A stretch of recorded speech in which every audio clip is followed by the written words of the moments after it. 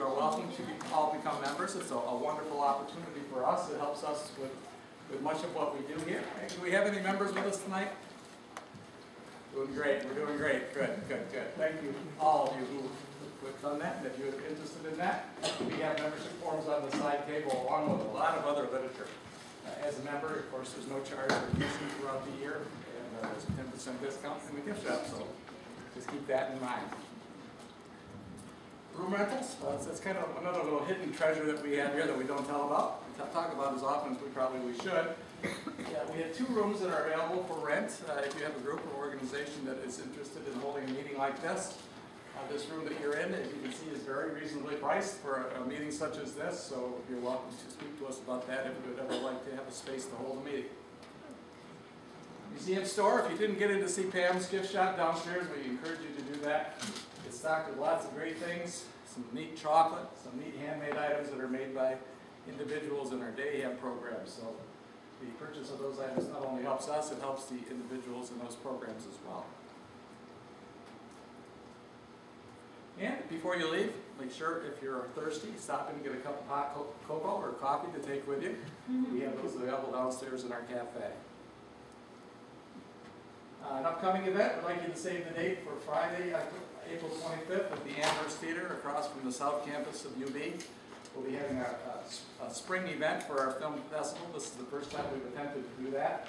We haven't announced the name of the film yet because we're still selecting it, but we'd like you to join us, save that date to join us in April. Without further ado, I'm going to introduce Doug Platt, our curator, who will introduce tonight's speaker. Thanks, Doug. Hi, everybody. Thanks for coming out to the Museum of Disability Histories Dialogue and Disability Speaker Series. I'm glad to see so many people are interested in our topic tonight, which is Disability History is Our History. And I think one of the things you'll find that Dr. Kim Nielsen has done is she hasn't done a straight chronological history, a timeline, a series of events that, you know, when put together, tell kind of a neat story. When you think about the melting pot, or perhaps tossed salad that American history is, mm-hmm. you'll know that it, it, it really consists of marginalized groups finding their way under that big tent that we call society. And for people with disabilities, it's taken kind of the, a similar arc to other marginalized groups, but I'll leave that for Kim to expound on. And also, as people with disabilities, are people first. So Kim's done a great job of emphasizing personal stories and events that help have, uh, have helped to shape the society we exist in and are continuing to struggle to improve. So tonight. Take a look at the Disability History of the United States by Kim Nielsen, which is available downstairs at our bookstore. And if you want, you could probably get the author to sign it. So how about a big round of applause for Kim?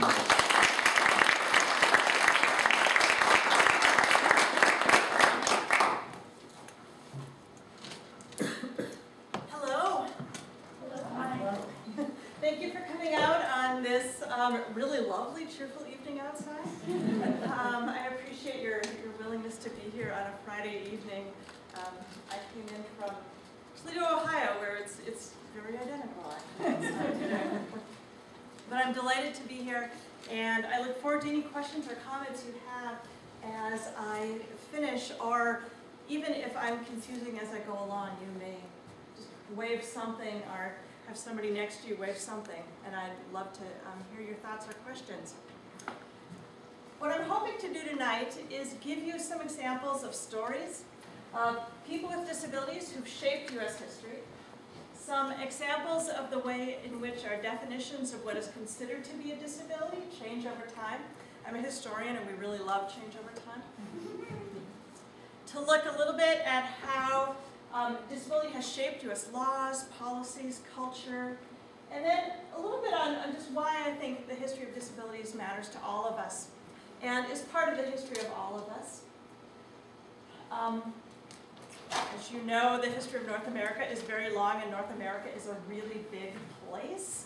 Um, so rather than keep you here for several weeks and going over everything, um, I'll be doing a little more select nature, okay? So please forgive me for everything I can't include this evening.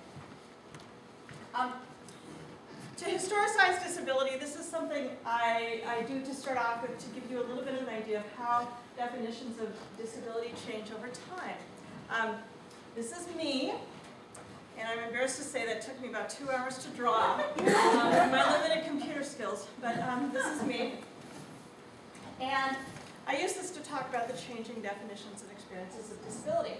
That I wear contact lenses, glasses sometimes, um, and at this point in my life, it has relatively little impact on my daily activities. It's not a significant impairment. Um, I teach, I keep my job, I, they let me drive sometimes, you know, I move around the world. Um, 125 years ago, 200 years ago, my world would very much be that blurry blob. And my, um, what, my what today has very little concept, consequence. But my eyes, um, because of the lack of adaptive equipment that I use today, would have had very great consequence on my daily life. Um, whether I taught, it would have had great impact on how I read or if I read at all. It would have impact on how I did needlework, how I might collect eggs, how I cooked, um, how I um, picked mushrooms and poisoned my family, right? Whatever I would do, it, had very, it would have relatively significant impact on me. That's a way in which our definitions of what is a disability change over time. Um, then, this middle arrow is um, pointing to my reproductive organs, okay?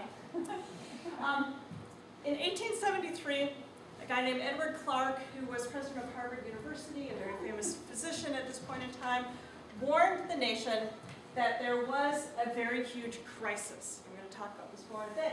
But he said that there was a group of pale-faced, decrepit, weak, deformed women daily presented to view who'd been tortured into a debility which renders their existence wretched.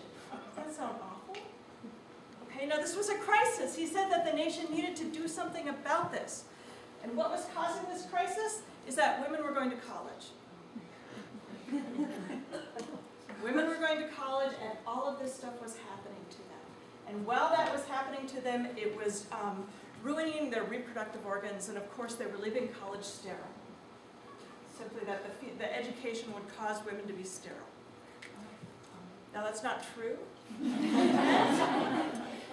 um, and well, I, you know, I have relatives who think my PhD is a little weird. Um, they don't consider it to be a disability. But certainly Edward Clarke in 1873 would have considered my PhD to be a significant disabling factor on my body. So again, what is disability changes over time? Um, and then my lovely pants, which are in this picture. Um, I'm not wearing pants tonight. Um, but certainly at other points of time in U.S. history, for me as a female to be wearing pants would have been read as proof of my psychiatric disability, perhaps proof of what was considered to be perversion, okay? Um, that my body, my brain, my ways of thinking would have been read as very disabled simply by my pants. Okay? So people would have read my body differently. Now today, when we see women wearing pants, we don't read that as proof of disability. So our definitions of disability change over time. So this is how I begin all my classes, so this is what you get today.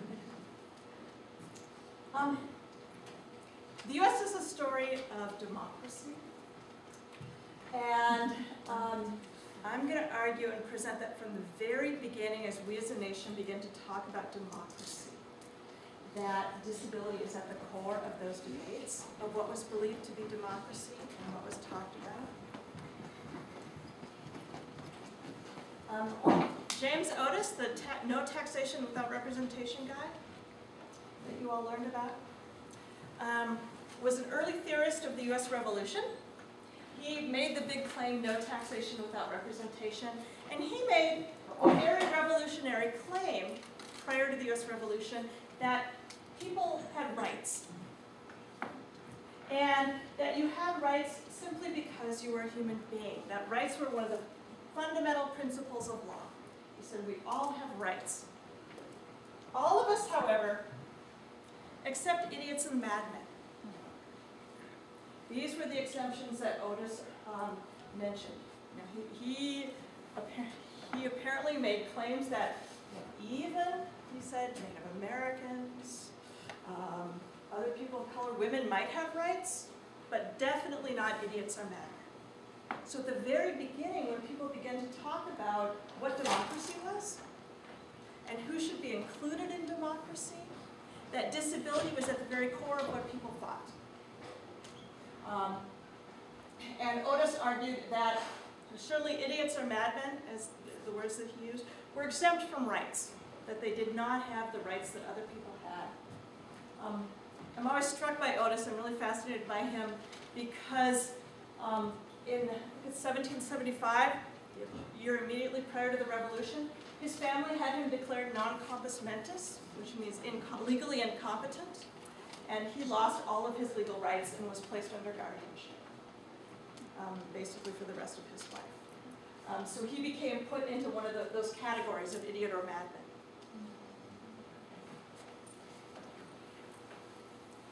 Now, so in U.S. history, we have this linkage between capacity and rights.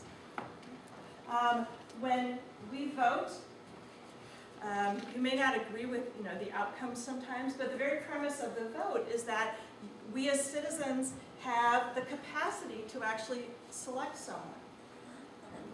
You may disagree with the results sometimes, but that people simply have the right, to, the not just the right, but the ability, the capacity to vote and to pick someone to vote for.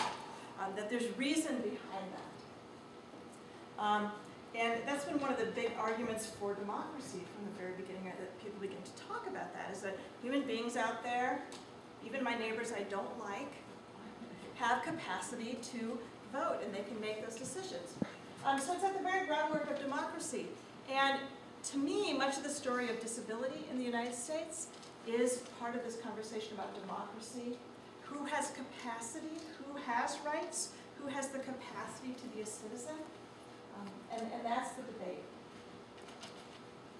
Now, I'm giving my college lecture here. But one of the arguments against, um, really against the capacity of people with disabilities or about that has been one way that rights have been denied is to categorize a group of people as disabled. And that's been done repeatedly throughout history, to categorize a group of people as disabled and thus deny them rights, whether that's rights to move around, rights to um, own property, rights to vote, rights for education, rights to um, marry, um, rights to bear children, um, the rights to simply live where they want to. Um, that groups defined as disabled have often been denied that because it's argued that they haven't had capacity for these rights.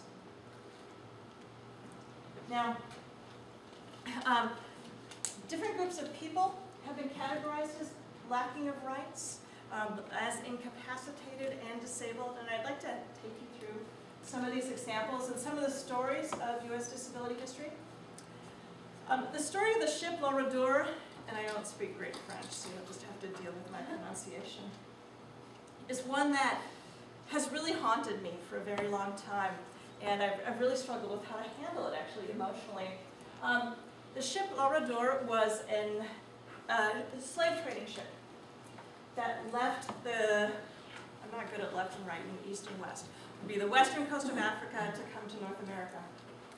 In 1819, um, this was actually at a point where the slave trade was fairly, the bringing of slaves to North America was fairly illegal, but this was, this was being done at this point in time. Um, and an eye disease hit the ship. A very contagious eye disease hit the ship. And it's estimated that about two-thirds of the people on the ship, first those enslaved in the very tight, crowded um, spaces in which they were being held, quickly, the eye disease quickly spread. It spread amongst the crew of the ship as well. And about two-thirds of the individuals um, were left with diminished eyesight. Some completely blind, others blind in one eye, others with diminished eyesight. Um, now, the- the logic of slavery, or the illogic of slavery, was one thing and the, the selling of human beings.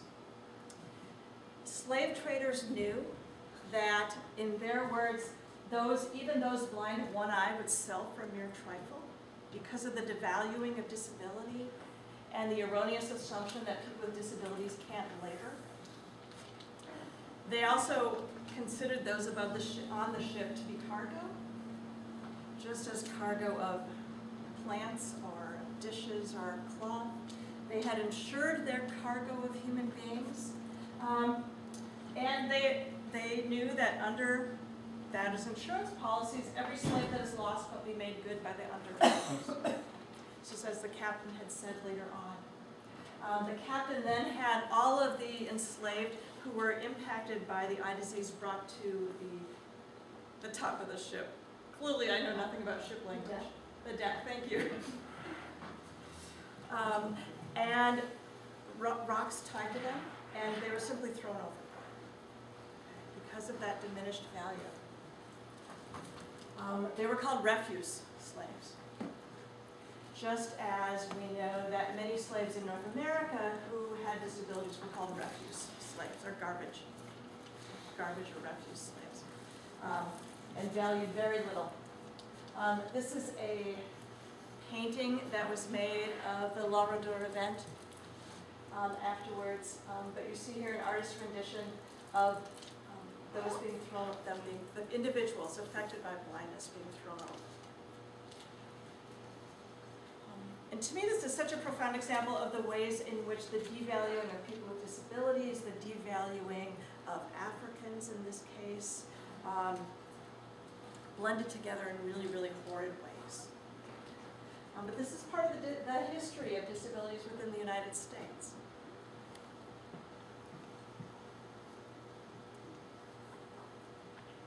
Now, this, this devaluing um, of both disabilities, people with disabilities, and um, those considered racially inferior went very much hand in hand. Um, one example of this is a physician named Samuel Cartwright, and Cartwright was a leading physician in the United States in the mid-19th century, and he argued in 1848 that slavery was actually beneficial because of what he called the inferior or inherently deformed, disabled African body. Um, and he even claimed that individuals had their own unique diseases who were of African descent. You see here how he med- what, one of the consequences of medicalization, um, defining that. He, he diagnosed and identified individuals as having the disease drapetomania, which he said it caused the enslaved to attempt to escape. And you can imagine all kinds of reasons why individuals might attempt slavery, and it was not disease usually. Um, he also diagnosed the disease hebetude, which he said caused laziness, shiftiness, and the damaging of property. That those enslaved, he said, who were lazy, shifty, or damaged property, it was a sign of their, um, their disability, their deformity, their biological um, lack thereof. Um, so the categorization of people as disabled was one more excuse for hierarchy, um, and one more excuse to treat individuals very, very badly in groups of people, to deny rights. Again, ideologies of race and disability come hand in hand. Um, then we've got this Edward Clarke again, who doesn't like me and my PhD. Okay.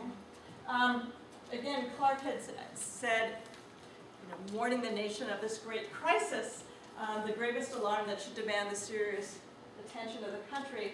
Um, and he went on to say that an important group of people had been permanently disabled to a greater or lesser degree are fatally injured by these causes. And again, this cause was um, women going to college. So in this case, by categorizing the entire group of people, women as biologically inferior, as deformed, as disabled, as lacking, he's able to justify hierarchy again. Um, so these are some of the ways that disability has been used as an ideologically um, to justify hierarchy, to deny rights to people. In this case, um, deny higher education to women, to say that it would be, ed- education would cause them to be permanently disabled, and that that was a terrible thing.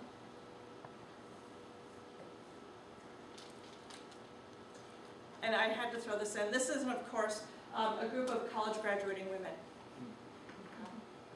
um, debilitated into a wretched existence. Okay, So we're getting back to the capacity and rights. Um. This is an, an ar- the argument that those considered disabled lacked capacity and should lack rights came out in many ways throughout US history. Um, this is a poster for female suffrage, okay, arguing that women should have the right to vote. Um, and argued that, you know, what a woman may be and yet not have the vote, that she could be a mayor, that she could be a nurse, a mother, a doctor, a teacher, or a fa- a factory hand. And yet you could have apparently all these slimy men who did get the vote, what a man may have been and not yet lose the vote. Um, he could be a convict. He could be a lunatic. Um, apparently driven, this is supposed to be the moon, driven by the moon. Um, the proprietor of white slaves this is talking about prostitution. Um, unfit for service. Um, the man using the um, crutches, and a drunkard. Um, so in this case, I think the U.S. women's suffrage movement was using disability, um, and in essence, arguing I'm not disabled as a female, I should deserve the vote, but also really saying all these other categories are inherently unfit, diminished, lacking capacity, and should lose the vote. It's really derogatory terms. Uh, this is very similar, um, where it's an argument for female suffrage. You have the respectable woman um, who were her political peers in not voting, or the idiot, the convict, the insane, and the American Indian. Um, yes, Doug. That's Frances Willard. Oh, okay, thank you. Frances Willard, a suffragist and um, temperance activist. Um, but looking at these other categories as diminished and disabled and, and um, in this case, seem to be arguing should be lacking rights. The respectful woman not. And you see, I think also the racism within this one clearly regarding American Indians. Disability and ideas about disability have also shaped U.S. history through immigration exclusions. Um, I always think about this, and um, my, my family came to the United States um, in the mid-1920s. And um, I often think about this. Um, even prior to the creation of the United States, when Europeans begin to arrive in North America, the colonies created exclusions of those they did not want to arrive in North America. Um, and very much defined that by disability. That those they considered to be insane, to be lunatics, um, to be physically disabled, they did not want to arrive, and they wrote that into the law that those individuals were banned from entry into the colonies. And they often had ship captains then, at their own ship captain's expense, make sure that those individuals were sent back to wherever they had originally come from. Um, the 1905 Immigration Act banned people of poor physique from entering the United States. And poor physique was considered those who have a frail frame, flat chest, and are generally deficient in muscular development, undersized, or markedly of short stature dwarf. So even those, as we talk about who should be a good citizen, who should be allowed entry into the United States, disability was used as a means to reject individuals. Um, the Immigration Act of 1924, which was one of the most restrictive in U.S. history, was much more specific. It banned those with epilepsy, imbeciles or feeble-minded persons, those of poor physique, the mentally or physically defective, um, such mental or physical defect being of a nature which may affect the ability of such alien to earn a living. Any mental abnormality whatsoever which justifies the statement that the alien is mentally defective. Um, all of those individuals could be banned from entering the United States. Um, and immigration officials were told to look out for such individuals. Now, um, as one entered Ellis Island, it was very much built, um, as individuals came to Ellis Island, they were, uh, had to go through a variety of steps, up and down, sharp corners, turns, and through which immigration officials could actually observe them and watch. and see how they moved about and how they carried things, how they interacted with other individuals. Um, and immigration officials would then, if there was somebody who was suspicious, have a piece of white chalk and simply put um, one of these markers on the back of the person with the white chalk if they were leery about this. So if I was um, observed to perhaps have a back impairment of one kind or another, someone would write a B on my back with the chalk. Um, if it was concerned that there was an impairment with my eyes, it would be the E. Um, L for, you see all the different varieties. Um, X for possible idiocy, X with a circle, definite idiocy. Um, pregnant, which I always wondered about. Um, the PG, the Special Inquiry Board meant they thought something was supposedly wrong with you, but they weren't sure what, so you'd be sent to the Special Inquiry Board to have that checked out further, um, where you'd spend time with officials. Um,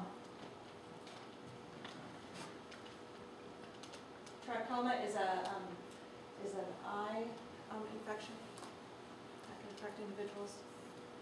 So this is part of the immigration process.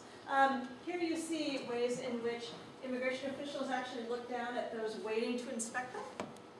As individuals would be down on some of these bottom chairs, um, and the immigration officials would be up top watching to see how people moved about, how you sat, um, how you interacted with other individuals. Um, here's part of the physical inspection. Okay, that was done. Um, in this case of young men, I think they're doing a trachoma um, test here. Um, another part of the physical inspection of individuals. It's done very close.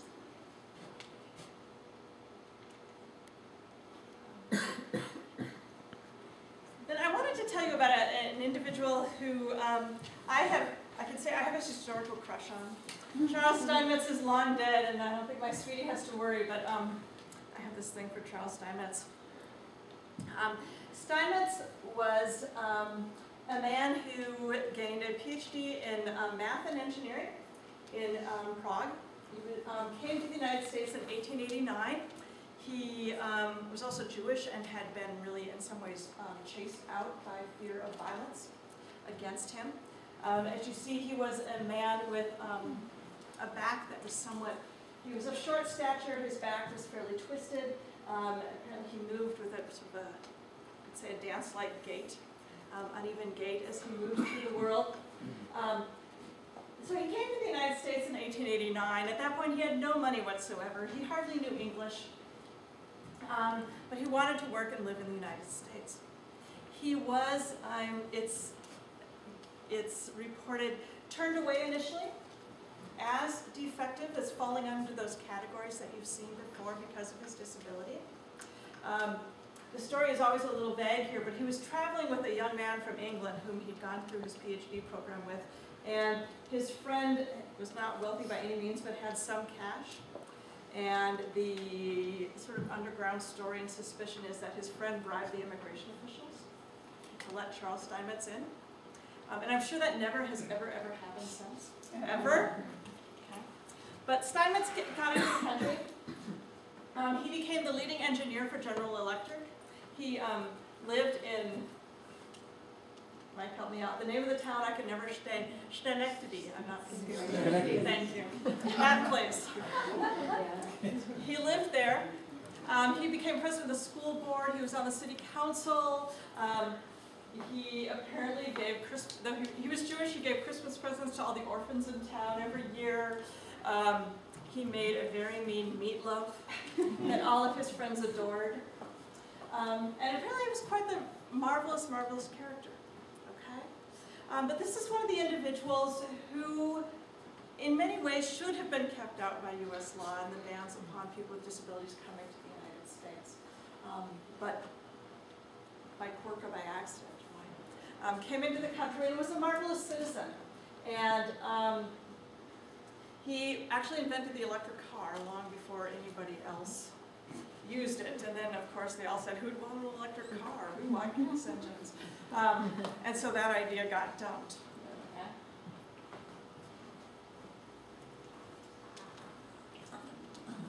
Another issue which has really affected the lives of people with disabilities in the United States um, is forced sterilization.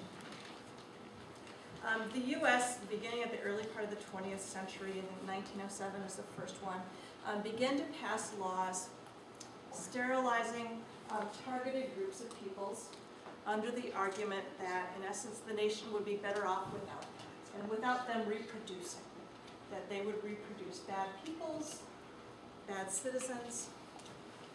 Um, The model sterilization law, which um, was encouraged across the nation, certainly was not passed in most sta, in many states, but was put forward as the model, um, included that those who are considered feeble-minded, insane, criminalistic, as you see here, including the delinquent and wayward, the epileptic, inebriate, including drug habitués, diseased, including the tuberculous, the syphilitic, leprous, others with chronic infectious and legally segregable diseases, blind, deaf, deformed, including the crippled, the dependent, including the orphans, the ne'er-do-wells, the homeless, tramps, and paupers. All be eligible for sterilization um, if decided by the states to do so. And this, these categories are always, I mean, one, it's incredibly broad, is it not? Think about that. Um, And I also suspect that all of us fall in one of those categories. Um, I often feel like a ne'er-do-well. But, um, That we all fall within these categories and are all very suspect. Um, The Supreme Court ruled in 1927 that this was legal and stats, states could pass sterilization laws. Um, in a case called Buck v. Bell, Carrie Buck, in 1927. Um, and the Supreme Court said it would be strange if, it, if we, the state, could not call upon those who already sap the strength of the state. So they're considering people with disabilities to be sapping the strength of the state, to be weakening the very nation. Um, for these lesser sacrifices, often not felt to be such by those concerned, in order to prevent our being swamped with incompetence. Um, and argue that it's better for the world, all the world, if instead of waiting to execute degenerate offspring, um, that we simply completely go off onto the floor with our quotes, um, but, but then sterilize those peoples. That this was the sacrifice that should be asked and demanded of, of um, so many people considered to be disabled. Uh, This is a photograph of Carrie Buck, um, the young woman whose case made it up to the Supreme Court, and her mother, um, who both were institutionalized in Virginia. Um, her mother, for a very long time, Carrie Buck, was released after her sterilization. Um, the Supreme Court ruling um, is very famous for its phrase, three generations of imbeciles is enough. Carrie Buck had been pregnant, had, had given, I quote it wrong? Did I get it right? Okay, good. Um, that Carrie Buck had been pregnant, she had given birth, um, she'd been raped actually by a relative um, of the family she was living with. She had given birth to a young daughter who was diagnosed at a very young age, less than a year, to be um, an imbecile. And um, the Supreme Court decided three generations of imbeciles is enough, as the phrase went, and um, okayed legalized sterilization for those considered to sap the strength of the state. Um, this is a chart of the states that did pass forced sterilization laws, um, when and the numbers in which they did so. Let's see, California is huge, to over 20,000 people sterilized. Um, New York, relatively low at 22. Um, Virginia, eight, over 8,000.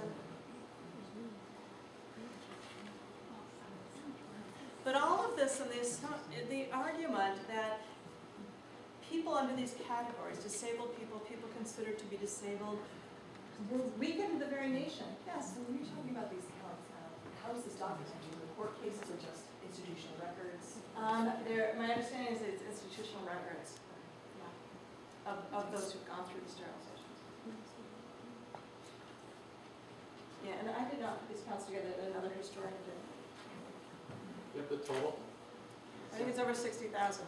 Yeah, it's over 66,000 people were sterilized between 27 and the early 60s. And one of the big advocates for sterilization was Paul Popenoe in California. So if you really wanted to be sterilized, you'd be a woman, Hispanic, suspected feeble-minded person in California, or you'd be a woman, African-American, suspected feeble-minded in Virginia or North Carolina.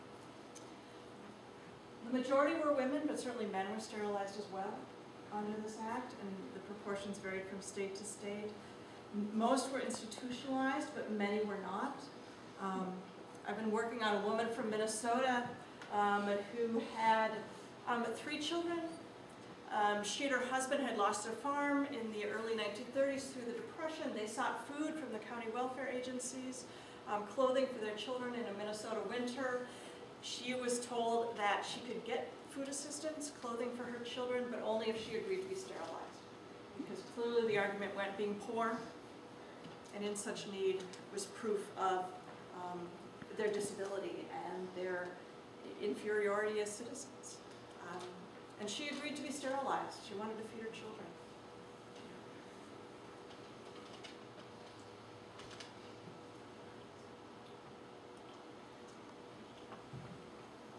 Another factor which has really influenced disability in our culture and one of the ways in which many people have become disabled in US history is simply through work, labor, um, and industrialization. Um, This is a photograph of a Homestead Steel employee and his family who had um, lost his arm in the Homestead Steel plant. Um, He's got, he's what, four kids and um, his female partner. And this is the caption um, that was given the photo when it was taken in the early part of the 20th century. One arm and four children.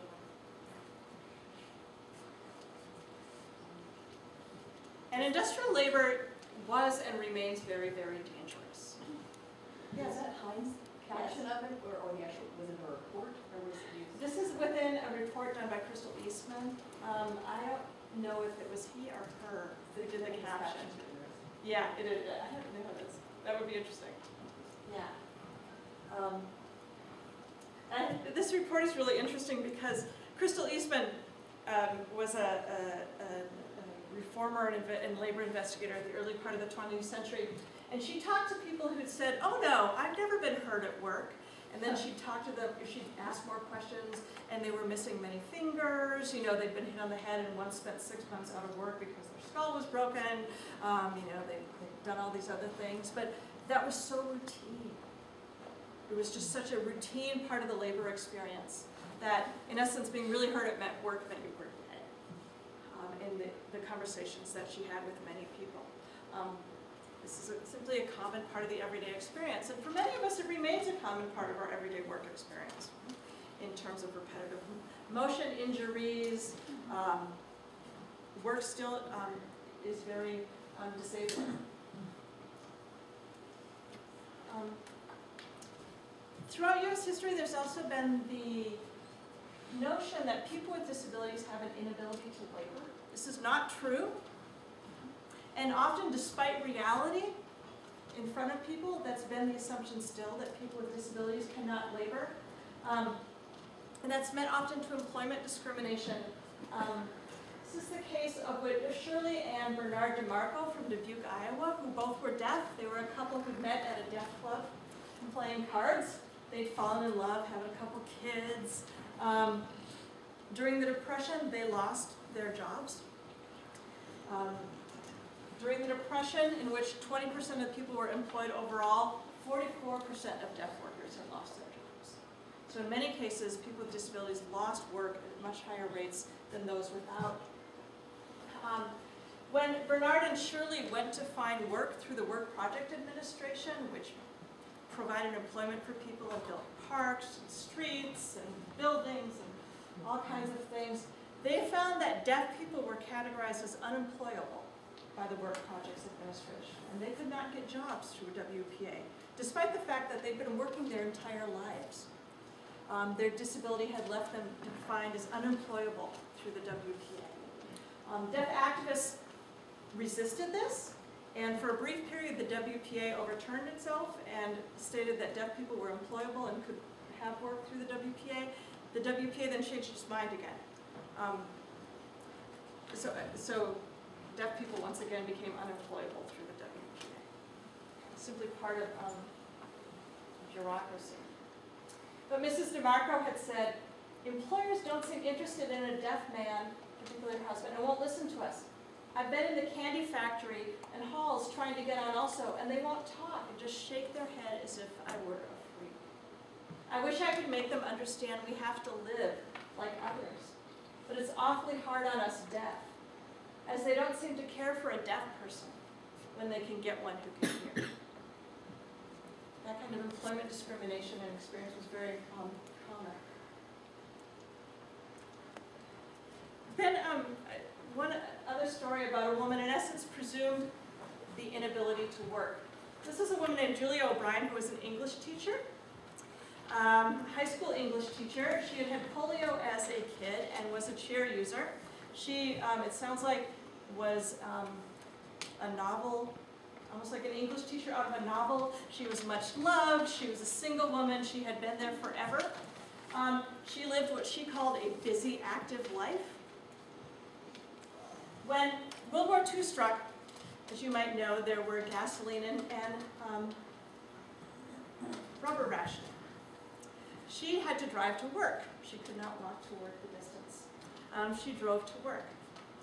And um, when the tire rationing came, she, her tires were near their point of explosion.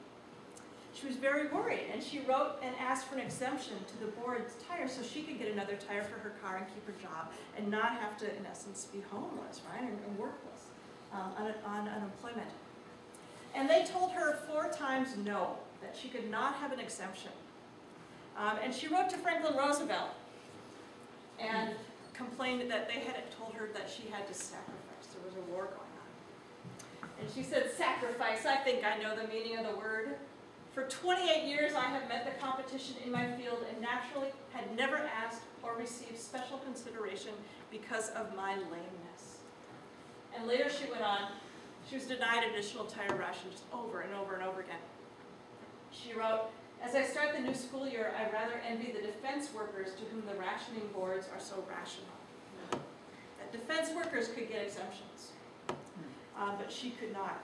And um, done research and hundreds and hundreds of people with disabilities wrote to FDR similarly asking for exemptions from the rationing for tires and for um, gasoline to keep their jobs.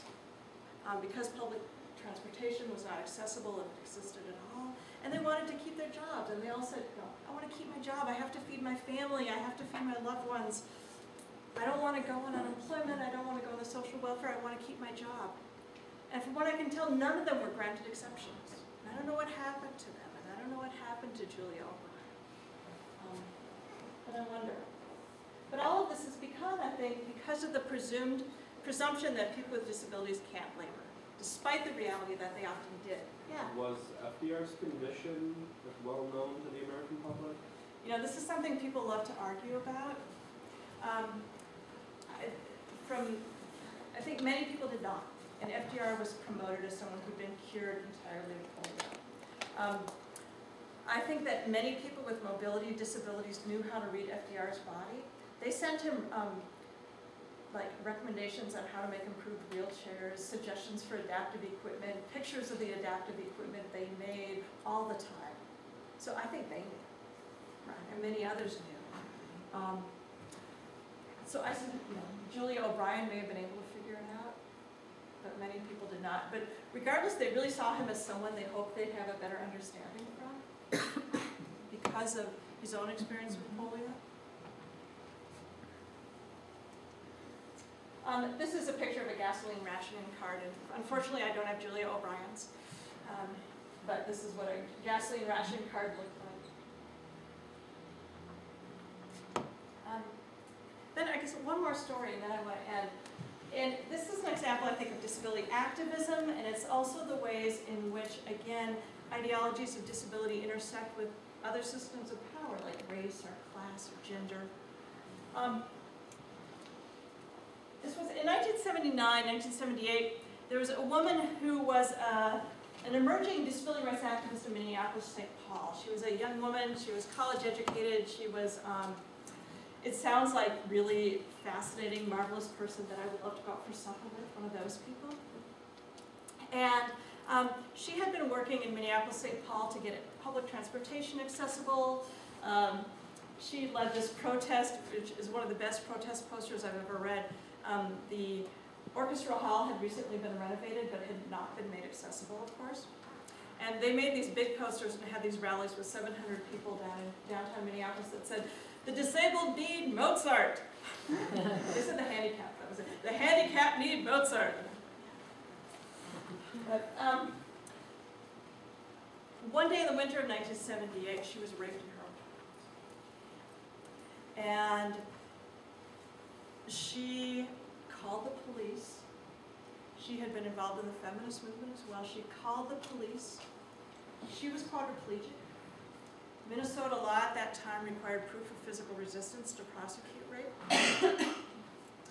the police caught the man who did it. It was sort of a classic stranger rape. Um, followed his footprints in the snow, middle of a Minnesota winter, arrested him, and ended up having to just let him go because she had not physically resisted as a woman quadriplegia. And there are lots of reasons why a woman might resist sexual assault, or might not resist sexual assault.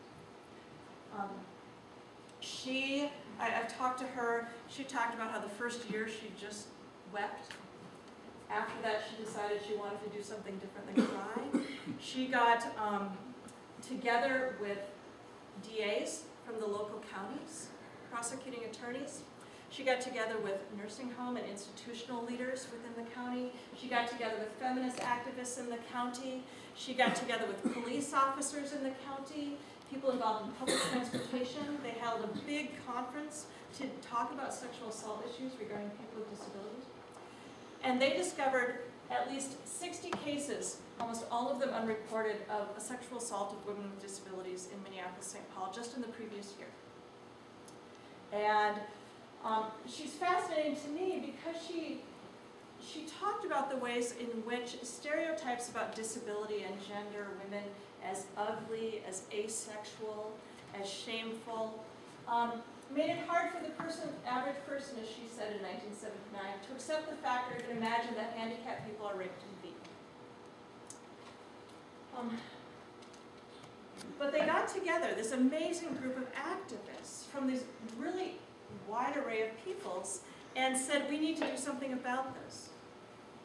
They began to very successfully make um, sexual assault services and domestic violence shelters within the Minneapolis-St. Paul community accessible. They had um, special training regarding um, women with disabilities and sexual assault. They hired ASL interpreters for the first time.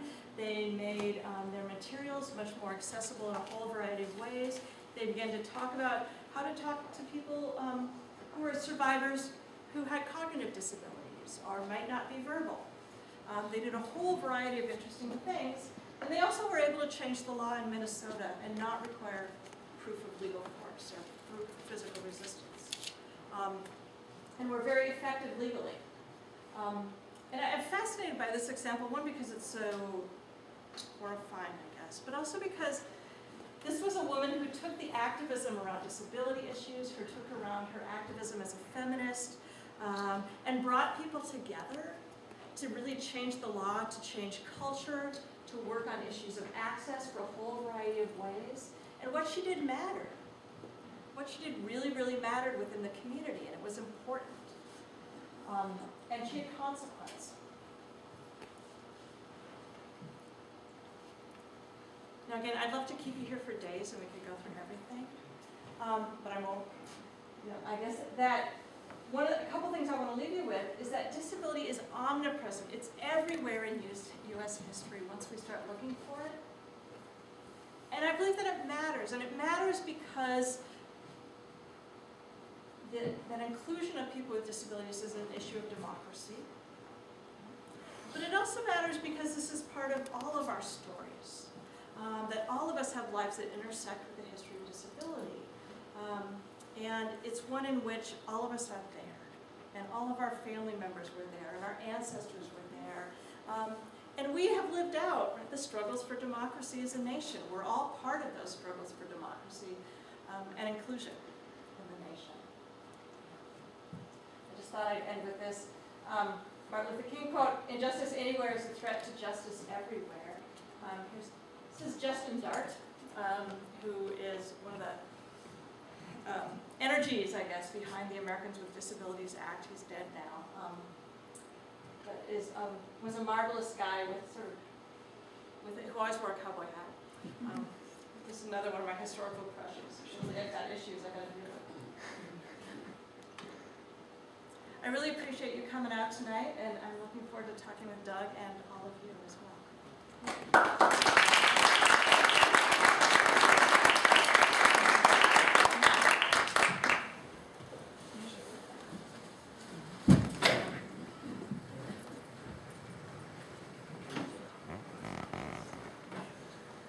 Well, thank you for a, uh, a really brilliant presentation, Thank you. I must say. Um, And I have a chicken, okay, I have kind of a chicken and egg question. Okay. Teach history, women and gender studies, and disability studies.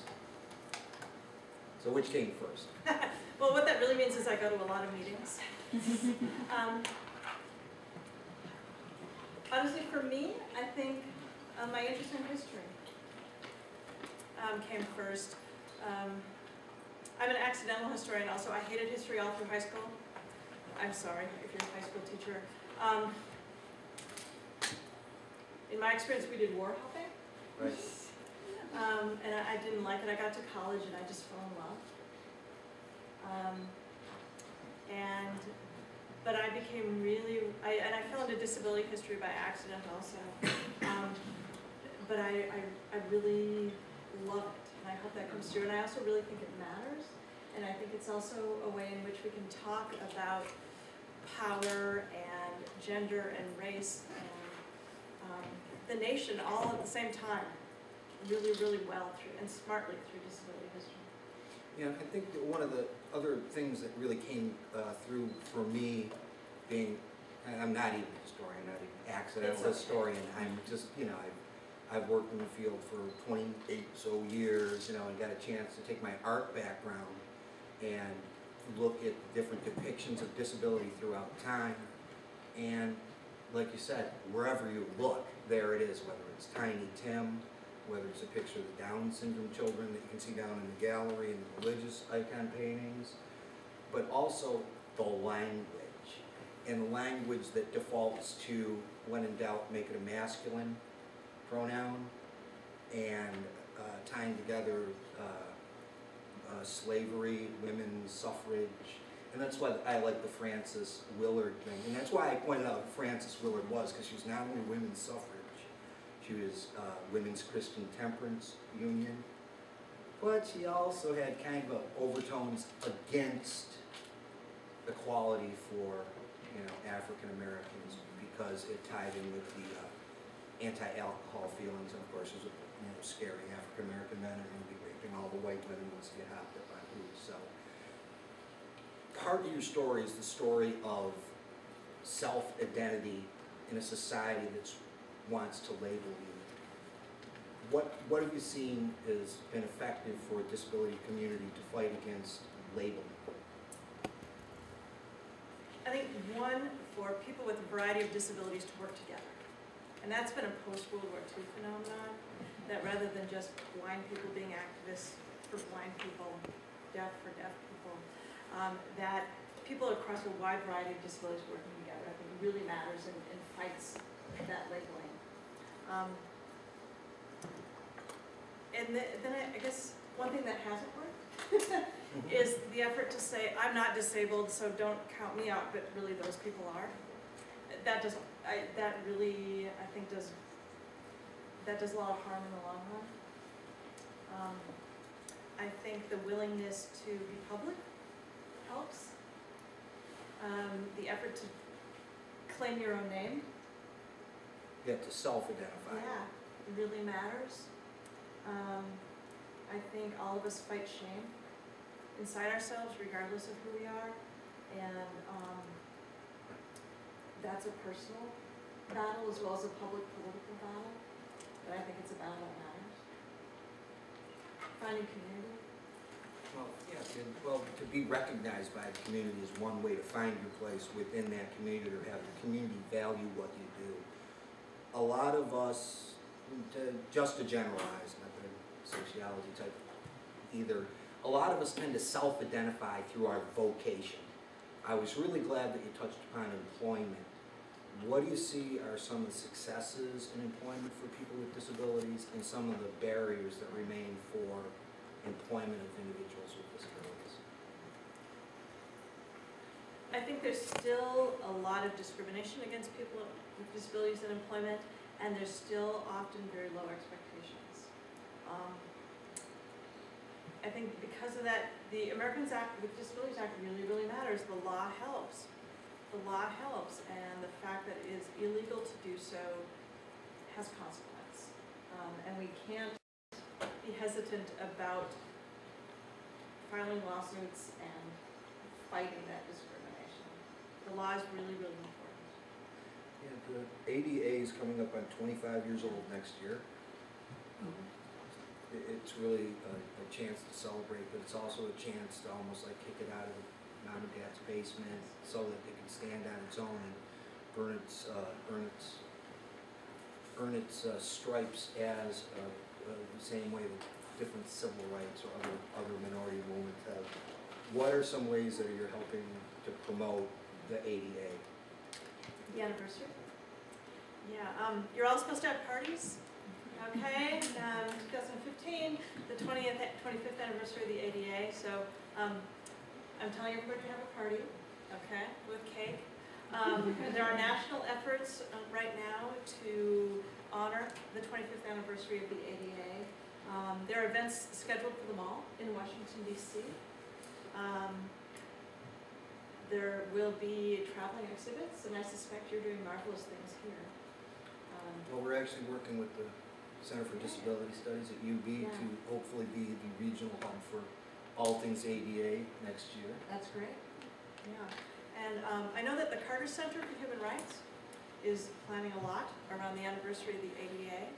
Um, The Smithsonian is as well. Um, I, you know, I think it has the potential to really remind people that this matters, to bring the issue of civil rights to the forefront for a whole variety of people. Um, one last question before I throw it to, uh, the crowd. Hey Doug, Yep, I'm, yes. I'm I'm sorry, I don't mean to interrupt you. Just, just to make you aware, uh, the Center for Independent Living in Western New York uh, does an annual picnic uh, to celebrate the ADA, uh, and we'll be doing so again this July 25th or 26th. Uh, Well, I think the 26th, it it falls on a Saturday, so they're going to be planning for Friday, or, yeah. Uh, And I know that they're also planning uh, for a big celebration for next year too, so just for everybody's information. Thanks, Frank. You've written two books on uh, subject, Helen Keller. Icon in American disability advocacy, legal rights for people who are marginalized and co-found the ACLU. When her statue was put in Congress, she's depicted as the little girl with the water pump in her hand. What does that tell you about society's need to evolve beyond people with disabilities are return children? Yeah, I, um, yeah. So I think there are two statues of women in the US Capitol, um, that represent states. One of them is Helen Keller as a child, um, and she lived to be eighty-eight years old. Um, and I don't know about you, but if I live to be eighty-eight, I don't wanna be remembered for what I did at the age of seven.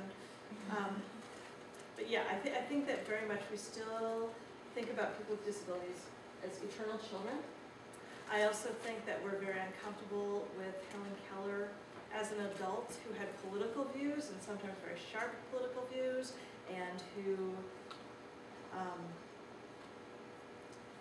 was a sexual person as well. Yeah, I'm sorry. Um, you know, that we tend not to think, I think particularly about women with disabilities in that fashion. Um, yeah, I think that was, you know, I, I'm rah-rah about the Helen Keller statue, but I'm, it's frustrating that was of her as a child. She would not have approved. Yeah, yeah.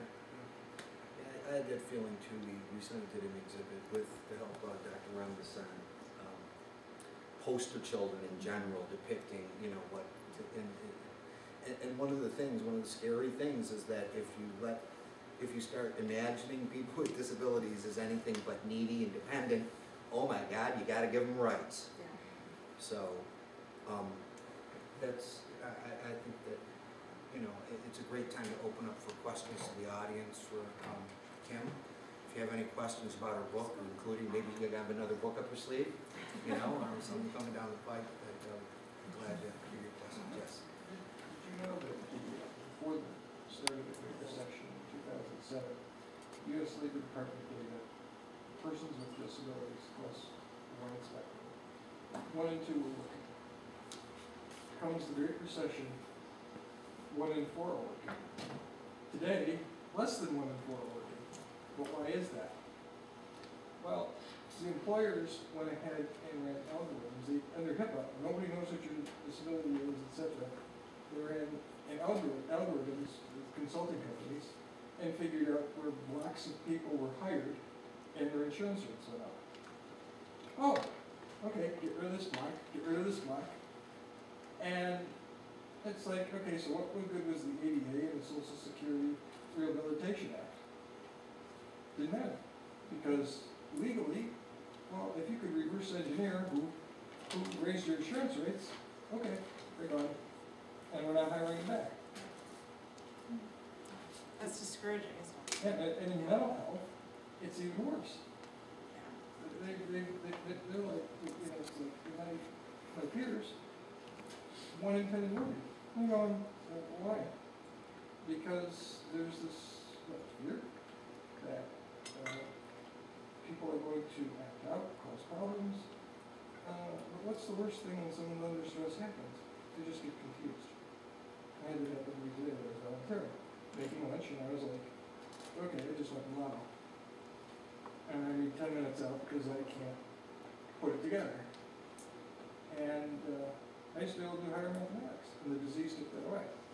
And I just went, okay, well, ten minutes later, come back, I'm fine. But employers will not allow for that. Yeah, employment, it can really matter. Yeah. Yeah, I just, you know, Yeah, yeah, A lot of stress. yeah. Yeah, well, thank you for those, those, those statistics. You know, that's really discouraging to find that employment rates are falling. Yeah. Anybody else? Yeah? Um, I currently work at a Cantalician Learning Center, which is an agency that services students that can't be uh, otherwise serviced in the district. And uh, I was having a discussion with the director of education there, and there's a movement, and they just, they passed it in Rhode Island, where they're trying to get rid of vocational workshops to include everybody in the, in the general mainstream, try to get them out of employment. What is your opinion on you think it's too soon? Do you, do you think there's a need for vocational training in terms of workshops? Or do you think it's actually a good idea to just throw them out in the mainstream and get them into employment, to try to include them in society? Because we're all for inclusion, but, Right, well, I think nobody should just be thrown out there, right? None of us can do that. Um, and, you know, the Supreme Court ruled in Olmstead that, that the most integrated context possible is what is necessary as far as the law goes. Um, and, and I'm doing the wimpy washy, wishy, wimpy answer and saying that this isn't my area of expertise, but I think that, um, the more integrated we can make work and society, the better. But that, um, we need to think about what the most integrated situation is for, for everybody. Um, and what supports all of us need to do well in the workplace, to do well in our relationships, to do well, um, in educational settings. We, all of us need supports in those settings, and we need to really think about what those supports are, and then we need to provide those, because I think too often, um, put this down or I'll spell it. Um, I think too often in the shutting down of support services like that, it's either the old form of the support services, or we just leave people out there, right? And, and I don't think either one of those are ideal, that we need to figure out, um, the best way to offer support in the least restrictive environment. Because I, I hate to just see people thrown out there, none of us can do that. yeah. so there's some degree of transition that needs to be made between the sheltered workshop, which used to be for kids from nineteen to sixty-five, Mhm. And, you know, rather than just saying, here, go, you know, go get a job. I mean, shoving somebody out onto a four-lane highway is not mobility training, so that, you can, there has to be some degree of But. I do think that there's an issue right now around um, sheltered workshops in terms of hours of employment, but particularly wages. As it was a money thing, that's what, Yeah, it's- yeah, you know, um, what it came down to, unfortunately. Because Yeah. Canalish and they have those workshops, but they changed the, I forgot what the title was, but it used to be called workshop. And they changed the title of it in order to keep getting funds and money into it. And but sh- the director of education knows it's coming down the pipe where they're gonna have to get rid of them. I actually work at the Cantalician workshop. Oh, you know. Yeah, and they're trying to, from what my understanding is, they're trying to take away the revocational, like you said, the sheltered um, employment. My fear is that there are individuals there that have been there years and years, and as much as we would like to put them, you know, into a, um, where we have on-sites that we're working with, companies that, you know, we're bringing our people there and working there, it's not safe for a lot of them. Because they, with their disability, they are not able to, um, watch, basically, something as simple as watching for forklifts, making sure you stay in this lane, you know, and it, it's, to me, it's gonna be a huge challenge to be able to get all those people out. I feel that they need to look at each individual person. Uh, you know, you can't just make a general law and say, get rid of sheltered employment. Because I think they have to look at each individual person and make a decision based on that person's abilities. Because some, you know, may end up just stuck at home if we don't have that sheltered employment. Yes. So this is, this whole conversation, and and I want to refer back to something in the book, um, where you- at the opening chapter of the book is about pre-colonial America and looking at indigenous people's cultures and how disability was dealt with so differently. So it gives you an idea that what's disabling or is different. So if people can contribute to a society, they, people contribute in different ways, right? And we have a society where we don't really take care of each other, right? Everything's a commodity, including us. So I think that's part of what people are speaking to because, I mean, I have a good friend who, in between other things, sometimes will work at a workshop. But, you know, I mean, really, people are totally exploited most of the time in terms of the wages that they, you can't really live on that. Um, then one workshop was closed and a friend of hers really doesn't have a job, right? So, I mean, it's, and it doesn't mean that things weren't set up at a time to try to do something, I, I'm not sure, but we're not thinking outside the box because there's a recession, less people are working, more people are competing for less paying jobs. So as a society, it, it means a different approach to what it means to be citizens. yeah, and the contributions, I, I think we have to think differently about the contr, what we consider to be a contribution to society. In the back? Um, to actually pick up on that question, um, I was wondering more generally, um, since we were just talking about work and how we oftentimes center work and what we label as work and what we don't see as work, right? Um, even from a feminist perspective, the caring work that women do and um, reproductive work, you know, those who are allowed to um, do that. Um, so, in your experience as a historian, is there have you come across a lot of um, maybe disability activism about a basic wage, uh, you know, a restructuring of the way we remunerate um, what people do, how they quote unquote contribute to society. And then I had a more general question too for you. Just I haven't read your book, but how did you, since you showed us um, in how many ways disability was used to um, you know, specifically curtail um, the activities and lives of specific kinds of people, which in the end were almost almost everybody, right? In some one way or another. How did you decide what to include in your book and what to leave out? Because you really could have written about pretty much everything. Yeah. Well, regarding wages, um, maybe if I can go back even to non-wage work, um, there's this historian named Daniel Blackie who's done work on disabled Revolutionary War veterans. And he's discovered that amongst those who did not work for wages, the vast majority of these men did immense care work in their homes. They cared for grandchildren, they cared for their own children, they cared for their mothers and their grandfathers, and they did the housework. And regardless of whatever kind of disability they had after the war, they did immense non-wage work. And I think we have to think about that important non-wage work. Um, I mean, I found instances of people trying to unionize sheltered workshops as early as the 1960s. Um, and actually some small, I mean, really two sheltered workshops in Iowa that were unionized in the, early 1970s. Um, which is fascinating to me, and I, I haven't been able to figure out that whole story at all yet of what they did and how that happened and what happened to those workplaces and those people. Um, but I, I think that um, we need to rethink about those things. Yeah, so how I chose topics? Um,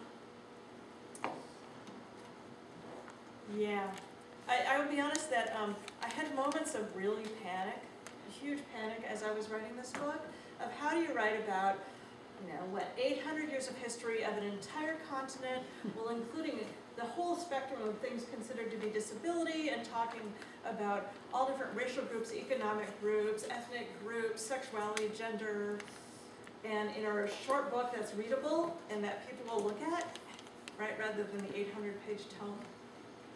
Um, yeah, I had some real panic moments.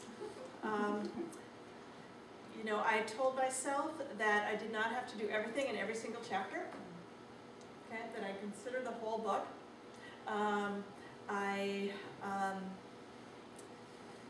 I was stuck using the materials that I could find. I couldn't make things up, right, so, so that helped me. Um, I feel it's very important, and all historians and writers use different strategies. It was important to me that this book be as accessible as possible. And um, I really believe that the longer the book is, the less accessible it is in many cases.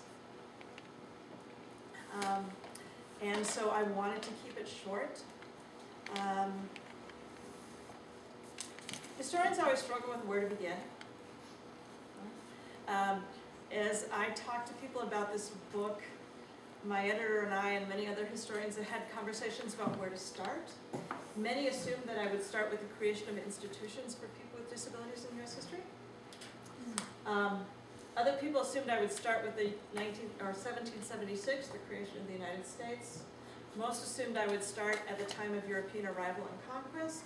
Um, I felt very strongly that I needed to start prior to European arrival and recognize that North America existed prior to European arrival. Um, so that's what I did. The first chapter is entirely prior to European arrival. And, um, you know, so it was one of balance and trying to fit everything in and recognizing that I can't do everything and hoping that other people would fill in the holes and generate excitement and ideas. Um, and honestly, it also were the question of which stories charm me and affected me and kept me awake at night, that those were the stories that I chose. Yes. Along that last point, I think kind of telling the story of all sorts of disability as perceived at time.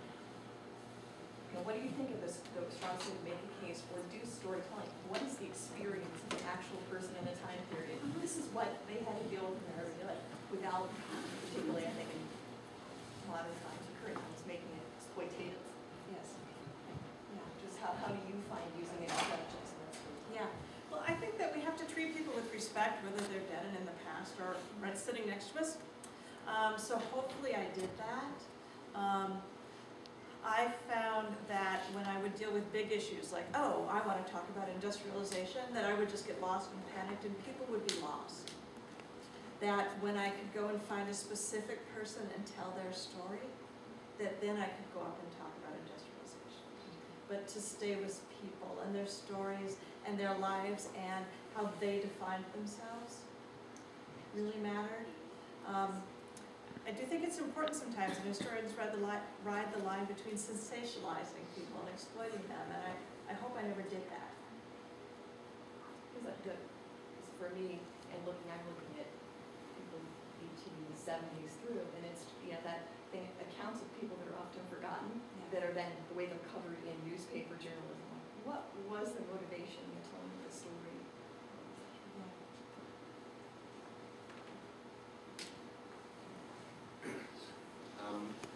society in general is moving forward compared to where we were in previous times, or do you see like a previous civilization that was just so far ahead of where we are right now?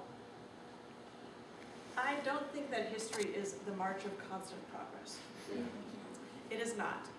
Um, I do think that, um, well, one, you know, I apologize, I am the glass half full perpetually optimistic person. It's a curse.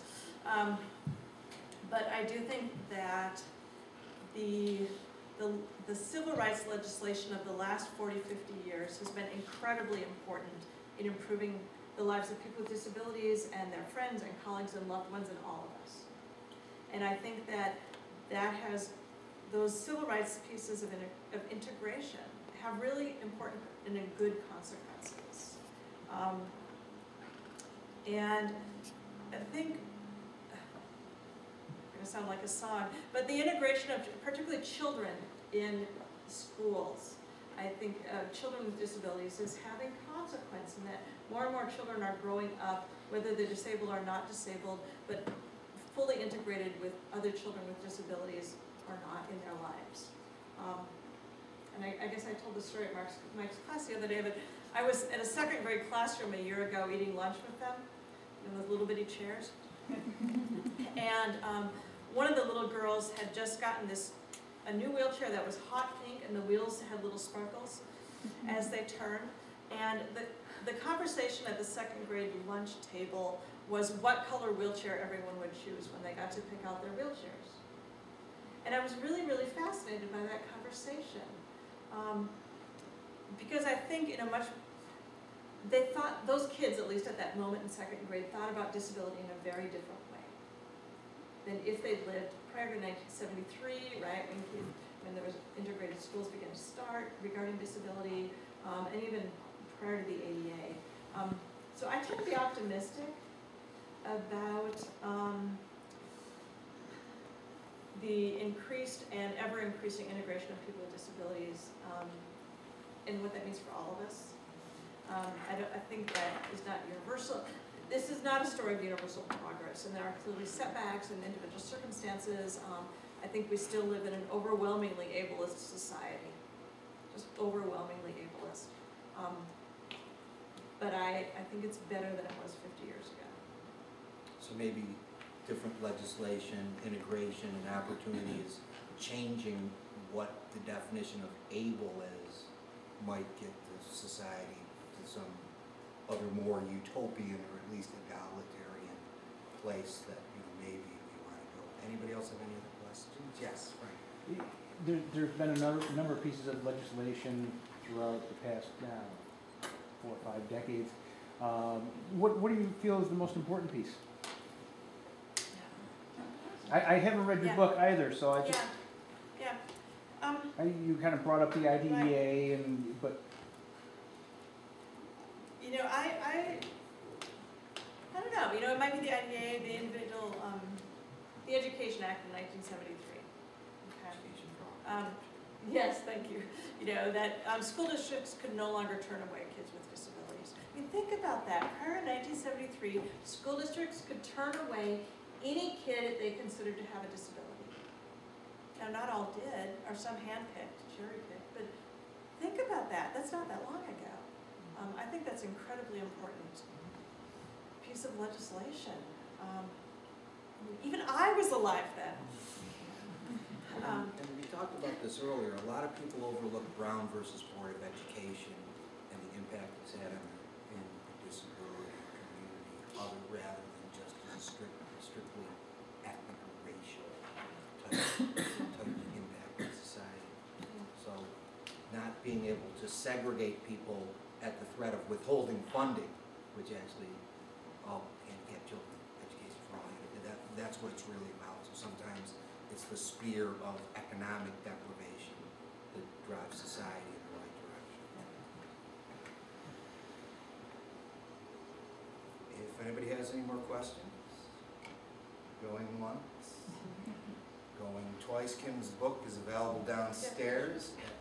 Just a real quick question, do you have? My understanding is that um, Beacon is working at this, I'm I'm published with Beacon and Random House, and they're supposed to have that out in the next six months. I tried to do that right away, and they wouldn't listen. So again, we'd like to let you know that we're gonna be open until nine. We'd like to have you take the chance to, you know, speak one-on-one with our author and special guest, Kim Nielsen. Your uh, admission here or your membership here allows you to take a a nice walk through the gallery. Um, Thank you for coming, and how about another round of applause